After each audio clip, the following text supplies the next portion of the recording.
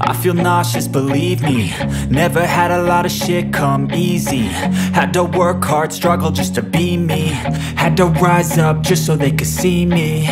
Did what I had to do just to feed me. And what was left over welcome back to my channel. And for those of you who are just you know visiting my channel for the first time you're welcome. My name is ololade. I am a mother and also a wife.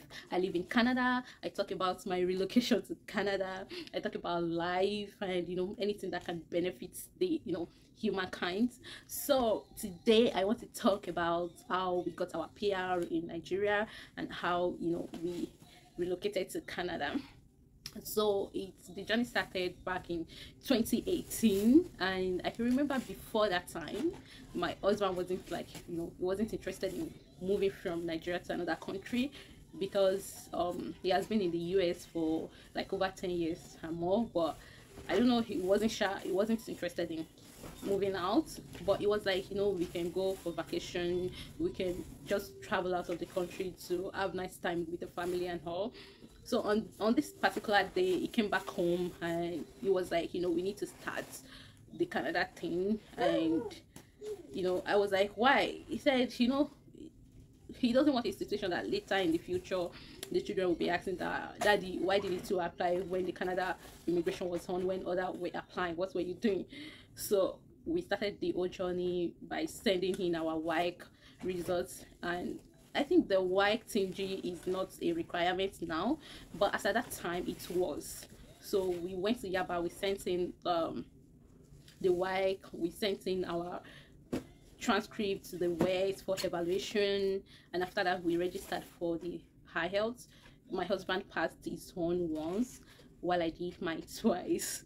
And I can remember when I did the first one, on my way to the venue, I was vomiting and the driver that was taking me was like madam i don't know how important this place you are going to but i think your health first. I just i replied myself just take me to where i am going okay? Just take me. I mean they know where they go.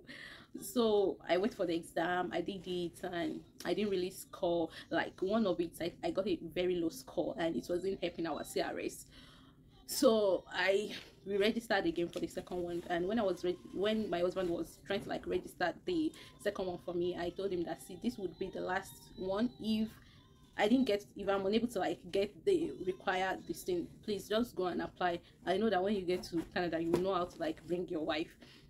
It wasn't really cool. He wasn't accepting that because he's this kind of person that see if i am going somewhere we are going together. Like if you are not going i am not going. So I did it and it was okay.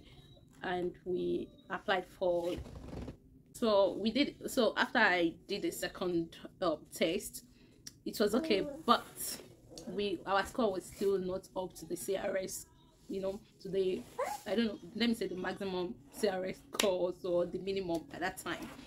Or the average anyone. So we were thinking of how to like boost our CRS score. And the only option was to like um start training for the French test and I wasn't even in for that. And my husband was not even interested in taking the French test. So we were just there and we were you know we were thinking of how to like boost our score if there is any of that route. So I I forced my husband like I didn't force let me say I persuaded him to like be in the pool. Like you shouldn't wait till when we'll be able to like get up to that score because we don't know this score might come down and we don't know what's gonna you know I just say just being in the pool it's not taking anything from you just being in the pool. And it was in the pool while we were thinking of how to boost our scores. Although it didn't have my details because my score my IELTS score was bringing his score down so i had i had to like remove me from his score I'm sorry if you're hearing anything. It's my son. My son is there. I'm so sorry.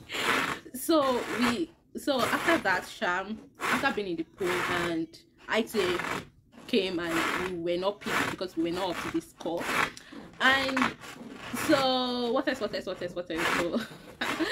So, so I was not really happy. And after a few days, um, my husband came to my room one night. I was about to sleep, and he was dancing ah, in my mind, I was just like, why, why was it, you know, that's unusual. But I didn't really pay attention because I was not really in the mood. So I just slept off. And the following morning, I went to him and I asked that why was he dancing, and he danced the dance again. Ah, I said, "This David's dance, like I really want to know the the reason behind it," and he showed me the the uh the email that he got from Ontario for the PNP, the notification of interest, and seriously, like we didn't even know what PNP is like because we don't we've not heard anyone around us you know we've not seen anyone around us that have done something like that. And although i think i've seen in some of the groups that i joined some people were talking about pnp but i wasn't really paying attention to it. And you know we shout because you know the notification of interest came with instructions how to go about it things to submit and all.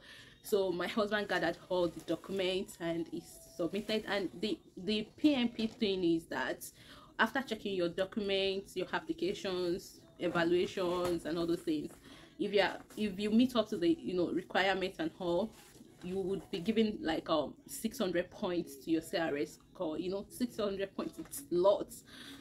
So we submitted and it took about like two months for it took two months for us to like you know we didn't get oh my god what like it took two months for us to hear back from Ontario and after the two months we got my husband got the 600 points.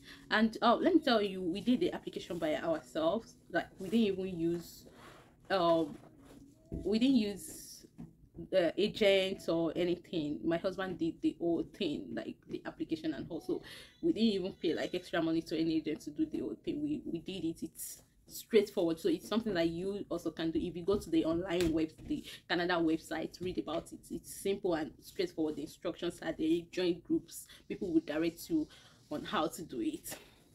So my husband got the 600 points and his score boosted up to like over 1000 and with that he was able to like add me to the application and all. And i'm so sorry that's my son. So i think my son wants to meet you you people. This one that is trying to like to distract me from telling you these stories.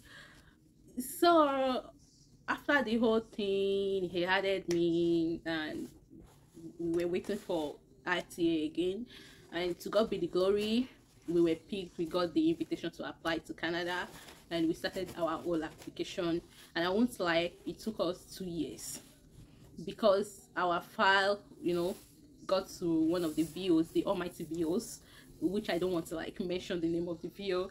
And aside that, the um, COVID also, you know, delayed the whole process and all. It affected the whole process because the most of the VOs were locked. You know, there, there were many backlogs and so many things that happened.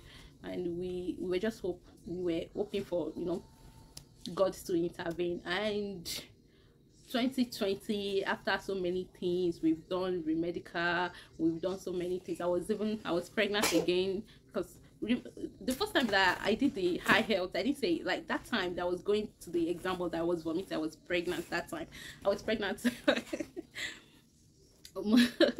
So this so i was already pregnant and we got the i think it was 2020 that we got since 2018 it was 2020 that we got the that was it was even december. That was when we received our copr and you know like i said i was pregnant at that time and we couldn't travel because i was already heavy. And the only thing was for us to just wait for the baby to come out and then we'll add the baby to the application at all and when the baby came out we started the baby's process getting passports for him and you all you all know what happened like what is happening right now getting passports in nigeria. And well we shall thank god we were able to get passports for him. You know i need to like cut some stories out so that um i don't want this video to be too long. So shall got the i started applying for him so we added him to the application and we waited for the his own second PPR to come and then we sent him our passports and we I think we received everything back maybe like April or so.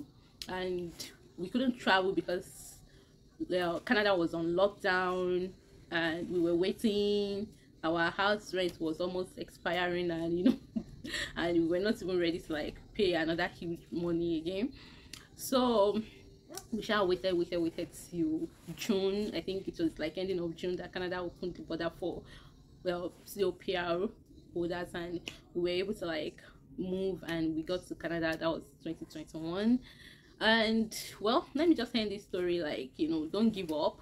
Because even when we've lost hope like you know when our crs score was very low and god just showed up for us like we were not even expecting we don't even know what pnp is we were not even expecting it and they came they said okay my husband you know met the requirements because they were looking for maybe like accountants or so and that's my husband's um profession i you know and they asked him to apply he applied submitted all the documents the requirements and all like we didn't give up you know even while we were still trying to like look for how to like boost our crs scores you know we don't even when as god was just there for us. So i don't even want you to like give up. Just try your best. You don't know you don't know what might happen. Just put in all your best. So thank you for taking your time you know.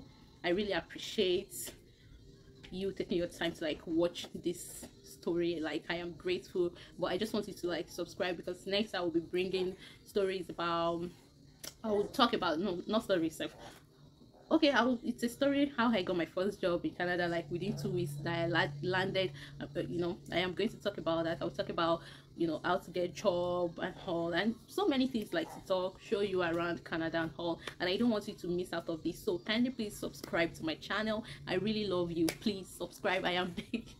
All right have a wonderful day. Bye bye